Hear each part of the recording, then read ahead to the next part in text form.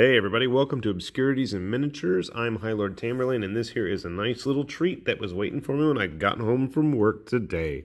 We've got the new Dreamer Core Box for Malifaux here. The Dreamer is a lot more grown-up looking than he used to be, and Lord Chompy Bits is getting a bit long in the gut there as well. So, what do we have? Obviously, we have the Dreamer right here. It's going to be hard to see him because I'm just trying to get it on camera. We have the Alps, which look a little bit more interesting than the originals. Hopefully, they're a little bit bigger. We got Coppelius again, the bag of goodies. And then there is the big old Lord Chompy Bits. So I will try to dig out my original models. I know I still have the Dreamer and Chompy somewhere.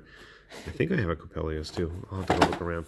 I did a lot of swapping and converting with these guys, so I never really use Malifaux for their intended purpose, which is funny because I really, really like the line. Um, I own way too many Malifaux models. I've painted way too many Malifaux models. So we have the new cards. I'll leave that to people who actually know what they're talking about. We want to see the good stuff. So here is Lord Chompy Bits. He gets an entire sprue all to himself. Doesn't look as big as a Gootslang, but he definitely looks a little bit wider. Look at the size of these hands. Where's my Marine? Come here, Marine. Where are you? You're buried in a pile of stuff here. There's like a million different models that I'm like trying to film. Here we go. So yeah, he's a big boy. And he suffers from, from some privateer press legs. Look at this tiny little feet he's got going on there. Surface detail looks decent. I mean, there's at least some ridges and texture in his body because I remember I was kind of disappointed with the original I'll show you. It was pretty smooth all over and doesn't seem as much the case here. Hmm, it's all on the bottom. All right, so that is the big guy. We'll do him last. I'll probably build him first and show you last, but whatever. Alright, so here is Coppelius, who looks a bit larger than I remember him. First of all, he was hunched over originally. Here is the Dreamer and Dog. His doggy. This cricket bat, it looks like. And then we have the Alps over here, A, B, and C. They definitely look a lot bigger than the Alps. If those were the guys that originally came with the Dreamer, which I'm, no, those were Daydreams now that I think about it. Well, these look a lot bigger. I think you get a lot more plastic this time around than you did with the original set. So, if you're looking to play Chompy, Nightmare, Dreamer, whatever, I don't know I'm trying to talk about, Dreamer Crew, I think you're going to be in for a pleasant surprise, at least in terms of model parts. I'm going to start with the Dreamer and the dog. Let's get them popped out and see what they're like. All right, well, we got the Dreamer all finished up here with dog. Sadly, I forgot to film them prior to building them, but that's okay. We can at least get a good look at the Dreamer himself. So they're both supposed to actually be on the base. It's a 30 millimeter base, which is kind of interesting. So then as he's flipping everybody the bird here with his cricket bat.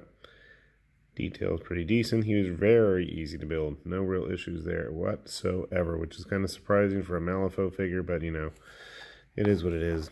Dog, on the other hand, or whatever he's supposed to be, went together quite easily and quickly. We had the main body, the four legs just really slotted in there. The head was actually two pieces that just kind of slid together and attached to a contact point on the neck.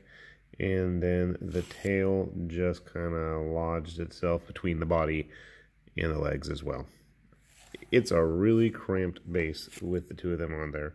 I'm kind of surprised it's only on a 30 millimeter base. It's going to take some tricky maneuvering to figure out how to get them all on there. I might use one of the old Micro Arts custom bases that Cool Mini did from that Kickstarter years and years ago that they seem to want to refuse to ever sell anymore, but it is what it is.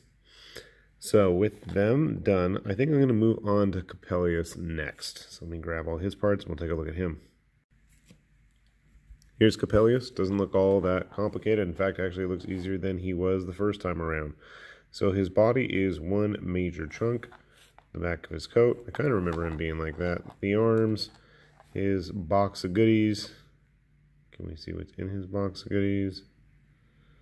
Little things. I want to say eyeballs. And then some extra tentacles right there that are going to attach to the face. So just a quick glance, he's actually a little bit bigger than the Dreamer, which is kind of funny because he was about the same size as the Dreamer previously, even though he was hunched over. So it's kind of nice to see him in all of his full-size Cthulhu glory. So we'll put him together next.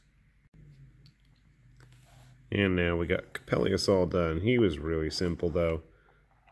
He really was. Not too challenging there. Like I mentioned, he is a little bit bigger this time around compared to the Dreamer. I'm not even sure how old the Dreamer is supposed to be. He looks like a teenager, I guess.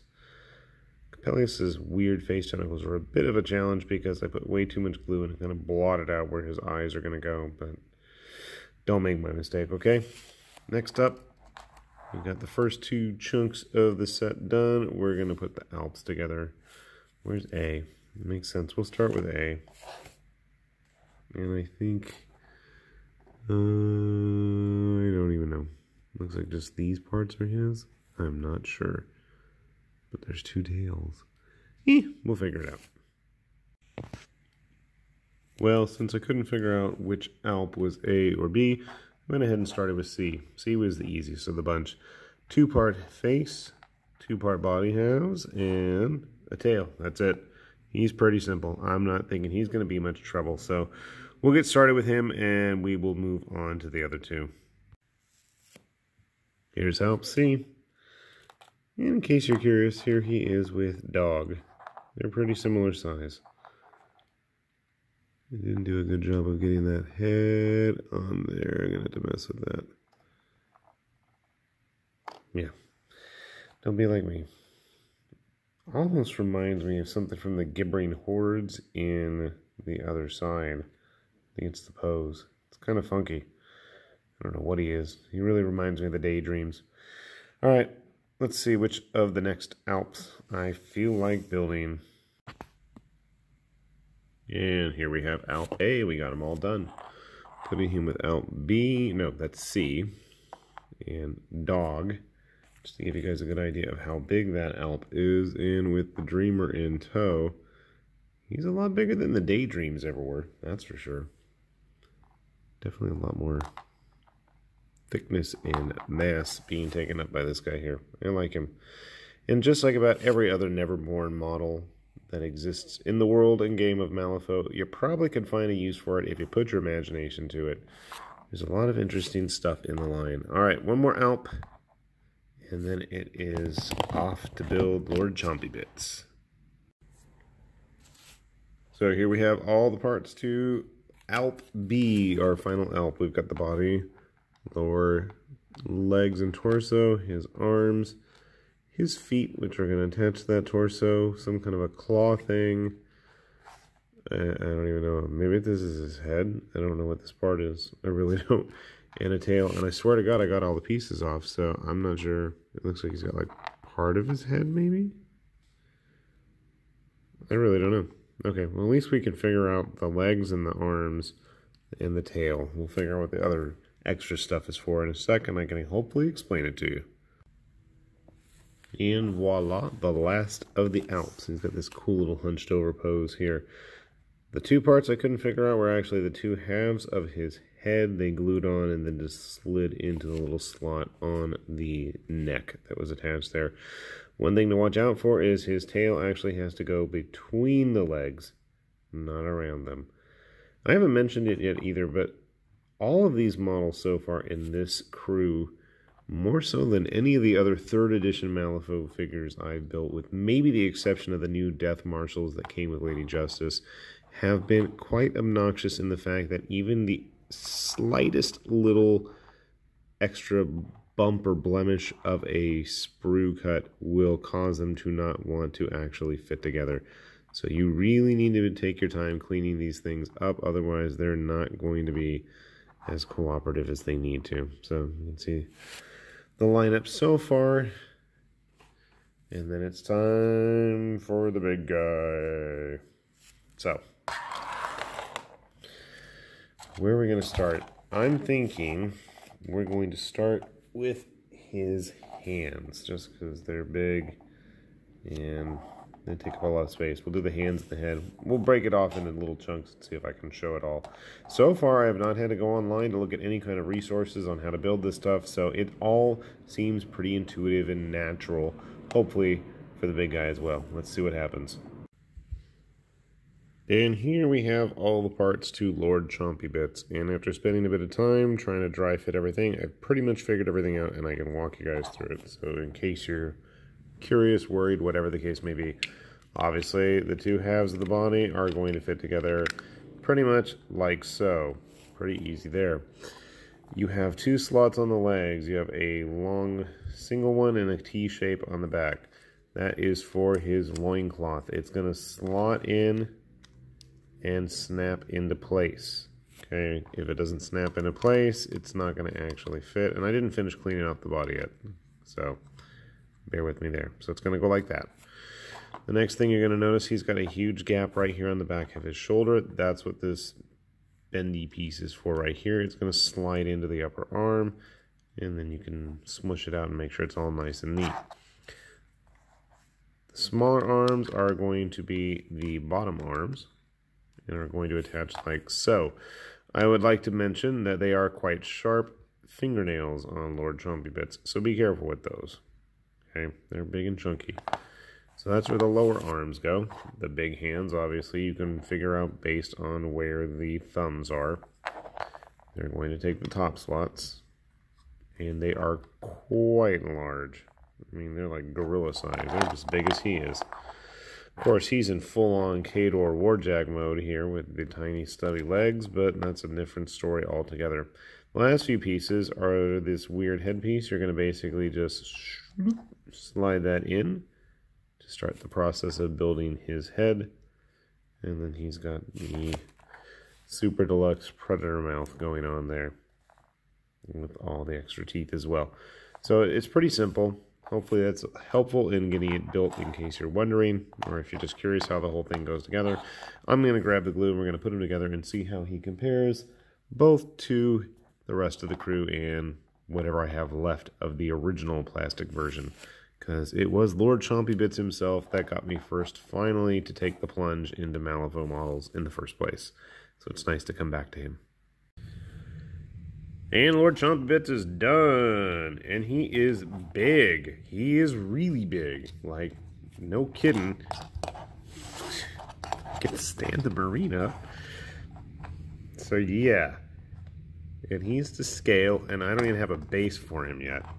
And I heard some people whining and complaining online, going, oh, you know, I'm really worried. He just looks really short compared to the original Chompy, especially in the plastic. And I had the same fear, like, oh, you know, I mean, look at him at his legs. He's definitely going Khador Warjack style, and he's obviously been skipping on leg day. But when we take the original plastic Lord Chompy Bits, you'll have to excuse my primitive paint job on it, even on the base, the new one is almost as tall, if not taller. And I mean, if I had a nice custom scenic base like this for him, I'd say he's he's actually going to be larger, both in width and in size, than this model, who I have always fondly, fondly enjoyed. He was a cool guy, but I hate to say it, Chompy, you're going to be retired for the new big bad. What's up? Yeah. So, grabbed just to give you guys a good indication, here is my poorly painted version of the original Dreamer. And like I said, he's all grown up now. He's not the best in focus at the moment. Bad lighting here, I apologize. But I think he's supposed to be like a teenager. I grabbed like Cornelius's daughter and they're about the same size.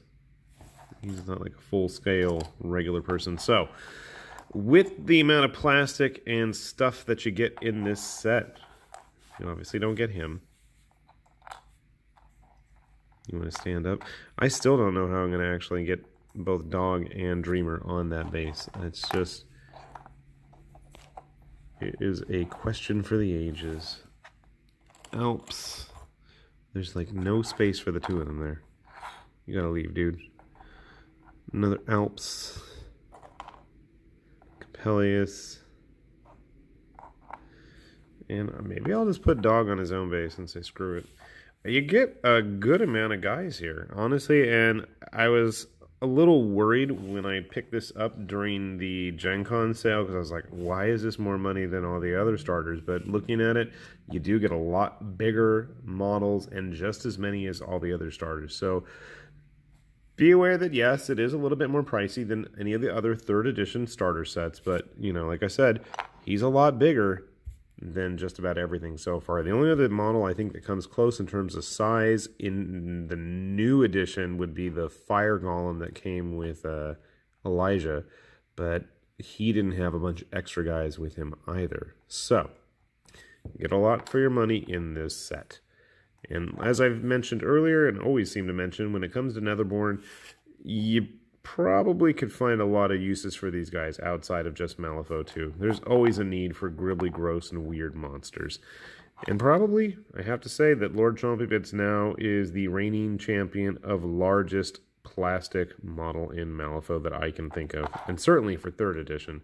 He might get trumped by a couple parts on a few other things. I still think the Gootslang might be a little bit taller than him, but in terms of sheer mass, I think he's going to win. Almost to the point where I don't know if his poor little base that he's supposed to have is going to be able to, you know, hold him, contain him much. Now I just need a Nightmare edition of him, right? Right. With that said, hopefully you guys have found this interesting. This is High Lord Tamberlane with Obscurities and Miniatures saying thanks for watching, and we will see you later. Bye-bye.